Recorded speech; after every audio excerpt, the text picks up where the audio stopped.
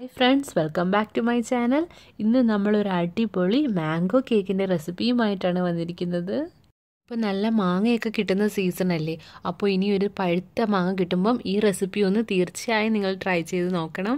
കുട്ടികൾക്കൊക്കെ വളരെ ഇഷ്ടമാവുന്ന നല്ല ടേസ്റ്റി ആയിട്ടുള്ള ഈ മാംഗോ കേക്കിന്റെ റെസിപ്പി എങ്ങനെയാണെന്ന് നോക്കാം. ആദ്യം അപ്പോൾ നമുക്ക് നല്ല പഴുത്തിട്ട് നല്ല മധുരമുള്ള ഒരു മാങ്ങ നോക്കി എടുക്കണം.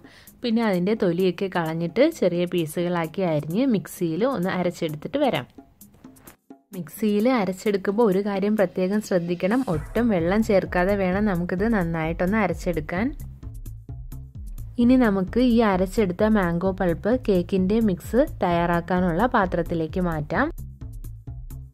ഇനി അടുത്തതായിട്ട് നമുക്ക് അര കപ്പ് പൊടിച്ച പഞ്ചസാര ചേർത്ത് കൊടുക്കണം. അര കപ്പ് എന്ന അളവ് പറഞ്ഞത് നമ്മൾ എടുത്തിരിക്കുന്ന ഒരു കപ്പ് മൈദ മാവിന്റെ പകുതിയാണ് പഞ്ചസാര എടുക്കുന്നത്.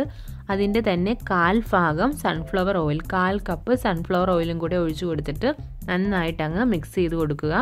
നമ്മൾ ഈ കേക്കിന്റെ ബാറ്റർ തയ്യാറാക്കുമ്പോൾ മുട്ടയൊന്നും ചേർക്കുന്നില്ല.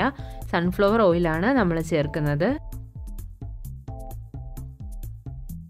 ഇനി ഇതെല്ലാം കൂടെ കട്ടയൊന്നുമില്ലാതെ നന്നായിട്ട് അങ്ങ് മിക്സ് ചെയ്ത് യോജിപ്പിച്ച് കൊടുക്കുക. അതിനുശേഷം ഒരു അരിപ്പ് വെച്ചിട്ട് ഒരു കപ്പ് മൈദാമാവ് ചേർത്ത് കൊടുക്കുക. അതിനുശേഷം ഒന്നര ടീസ്പൂൺ ബേക്കിംഗ് പൗഡർ ചേർത്ത് കൊടുക്കുക.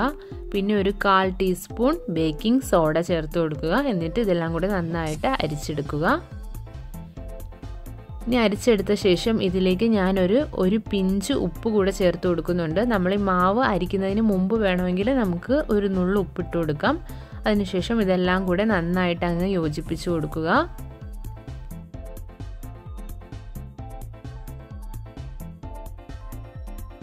ഒരു നല്ല ഫ്ലേവർ കിട്ടാൻ വേണ്ടിയിട്ട് ഒരല്പം ഏലക്കാപ്പൊടി ചേർത്ത് കൊടുക്കണം. അതിനുശേഷം കുറേശ്ശെ പാൽ കൂടെ ചേർത്തിട്ട് നമുക്ക് നമുക്കിത് ഇച്ചിരി ലൂസായിട്ടുള്ളൊരു കൺസിസ്റ്റൻസി ആക്കി എടുക്കണം. ഇപ്പോൾ അത്യാവശ്യം കട്ടിയായിട്ടാണ് ഇരിക്കുന്നത്. ഞാനിപ്പോൾ ഒരു അര കപ്പ് പാലാണ് എടുത്ത് വെച്ചിരുന്നത്. അത് കുറച്ച് കുറച്ച് നമ്മളിത് ഒഴിച്ച് മിക്സ് ചെയ്ത് അതിന്റെ ആ ഒരു ലൂസായിട്ടുള്ള പരുവമാവുന്നിടം വരെ നമ്മൾ മിക്സ് ചെയ്ത് കൊടുക്കണം.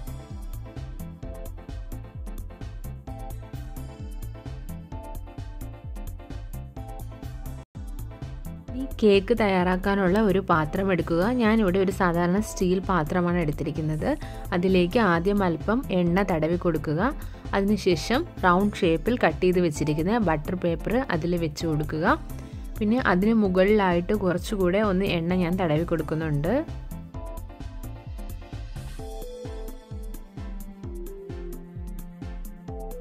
ഇനി നമ്മുടെ കേക്കിന്റെ ബാറ്റർ ഇതിലേക്ക് ഒഴിച്ചു കൊടുക്കുക.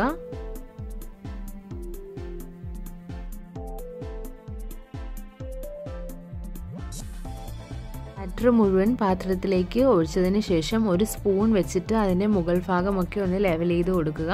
അതിനുശേഷം നമ്മുടെ പാത്രം ഒന്ന് തട്ടിയിട്ട് അതിലുള്ള എയർ ബബിൾസ് ഒക്കെ ഒന്ന് കളഞ്ഞെടുക്കണം. ഞാനിവിടെ കുക്കറിലാണ് കേക്ക് തയ്യാറാക്കി എടുക്കുന്നത്. ആദ്യം ഇതുപോലെ ഒരു തിരിവ് വെച്ചിട്ട് ഒന്ന് പൊക്കി കൊടുത്തതിന് ശേഷം അതിന് മുകളിൽ നമ്മുടെ കേക്കിന്റെ ബാറ്റർ ഒഴിച്ചിരിക്കുന്ന പാത്രം വെക്കുക. വെയിറ്റ് ഇടാതെ ലോ ഫ്ലെയിമിൽ വെച്ച് നാൽപ്പത്തഞ്ച് മിനിറ്റ് കുക്ക് ചെയ്തെടുക്കണം. ഇനി ഈ കേക്കിന്റെ കൂടെ കഴിക്കാനായിട്ട് നമുക്കൊരു മിൽക്ക് സോസ് തയ്യാറാക്കി എടുക്കണം. അതിന് വേണ്ടിയിട്ട് ഞാനിവിടെ ഒരു കാൽ കപ്പ് പാൽ അടുപ്പിൽ വെച്ച് കൊടുത്തിട്ടുണ്ട്. അതിലേക്ക് ഒരു സ്പൂൺ പഞ്ചസാര ഇട്ടിട്ട് നമുക്കിതൊന്ന് ലോ ഫ്ലെയിമിൽ ചെറുതായിട്ടൊന്ന് ചൂടാക്കി എടുക്കണം.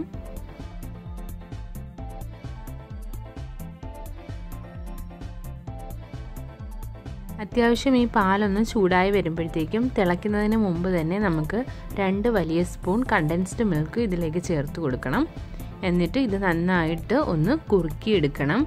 ലോ അല്ലെങ്കിൽ മീഡിയം ഫ്ലെയിമിൽ ഇട്ടിട്ട് വേണം നന്നായിട്ട് കുറുക്കിയെടുക്കാനായിട്ട്. നമ്മൾ തീ കൂട്ടി വെച്ച് കഴിഞ്ഞാൽ പാൽ തിളച്ച് പൊങ്ങി വരും.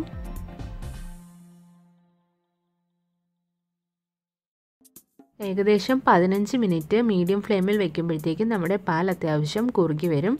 ഇതാ ഇപ്പോൾ അത്യാവശ്യം കുറുകി വരുന്നുണ്ട്. നമുക്കിപ്പോൾ ഈ സോസിന്റെ അളവ് കൂടുതൽ വേണമെങ്കിൽ നമുക്ക് അതനുസരിച്ചിട്ട് പാലിന്റെയും കണ്ടൻസ്ഡ് മിൽക്കിന്റെയും അളവ് കൂടുതലായിട്ട് എടുത്താൽ മതിയാവും. ഇനി ഇതിന് നല്ലൊരു കളറും ഫ്ലേവറും ഒക്കെ കിട്ടാനായിട്ട് നമുക്ക് അല്പം ബദാം മിക്സ് ചേർത്ത് കൊടുക്കാം. ഞാനിവിടെ ഒരു മൂന്ന് നാല് തുള്ളി ബദാം മിക്സ് ചേർത്ത് കൊടുക്കുന്നുണ്ട്. ഇത് നമുക്ക് ബേക്കറികളിലൊക്കെ വാങ്ങിക്കാൻ കിട്ടുന്നതാണ്.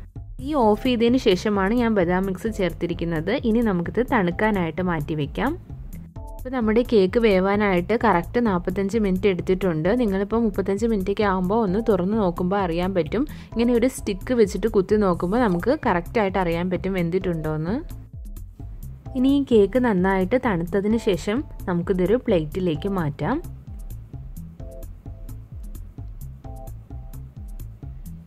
ഇനി ഇതിൽ പറ്റിയിരിക്കുന്ന ആ ബട്ടർ പേപ്പറൊക്കെ നമുക്ക് എടുത്ത് കളയണം. നമ്മൾ ബട്ടർ പേപ്പർ വെക്കുമ്പോഴത്തേക്കും കേക്ക് ഒട്ടും തന്നെ അടിവശം കരിയാതെ കിട്ടും. ഇപ്പോൾ ഇതാ നമ്മുടെ കേക്ക് നന്നായിട്ട് വെന്തിട്ട് നല്ല സോഫ്റ്റ് ആയിട്ടാണ് ഇരിക്കുന്നത്. ഇനി നമുക്കിത് കട്ട് ചെയ്തെടുക്കാം.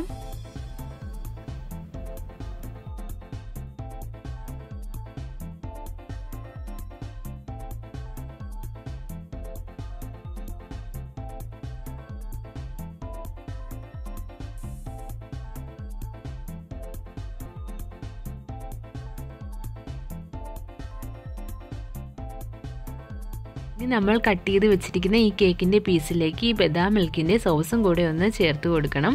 അതിന്റെ മുകളിലൊക്കെ ആയിട്ട് ഇങ്ങനെ ഒഴുകി വരുന്ന പോലെ നന്നായിട്ട് ഒഴിച്ചു കൊടുക്കുക. ഈ ഒരു ബദാം മിൽക്കിന്റെ ഫ്ലേവറും കൂടി ആകുമ്പോഴാണ് നമ്മുടെ കേക്കിന് നല്ലൊരു അടിപൊളി സൂപ്പറായിട്ടുള്ളൊരു ടേസ്റ്റ് കിട്ടുന്നത്. അതിനുശേഷം അതിന് മുകളിൽ കുറച്ച് കട്ട് ചെയ്ത ബദാമോ പിസ്തയോ എന്തെങ്കിലും വെച്ചിട്ട് നമുക്കൊന്ന് ഡെക്കറേറ്റ് ചെയ്തും കൂടെ കൊടുക്കാം. അങ്ങനെ നല്ല അടിപൊളിയായിട്ടുള്ളൊരു വെറൈറ്റി മാംഗോ കേക്ക് ഇവിടെ റെഡി ആയിട്ടുണ്ട്. ഈ ഒരു സോസിന്റെ കൂടെ തന്നെ നമ്മൾ ഈ മാംഗോ കേക്ക് കഴിക്കുമ്പോഴാണ് അതിന്റെ ഒരു കറക്റ്റ് ടേസ്റ്റ് നമുക്ക് അറിയാൻ പറ്റുന്നത്. ചാനൽ ആരെങ്കിലും ആദ്യമായിട്ടാണ് കാണുന്നതെങ്കിൽ നിങ്ങൾക്കിത് ഇഷ്ടമാകുവാണെങ്കിൽ ഒന്ന് സബ്സ്ക്രൈബ് ചെയ്യുക. തൊട്ടടുത്തുള്ള ബെല്ലൈക്കൺ കൂടെ ക്ലിക്ക് ചെയ്തിട്ട് ഓൾ എന്നുള്ള ഓപ്ഷൻ കൂടി എനേബിൾ ആക്കുക.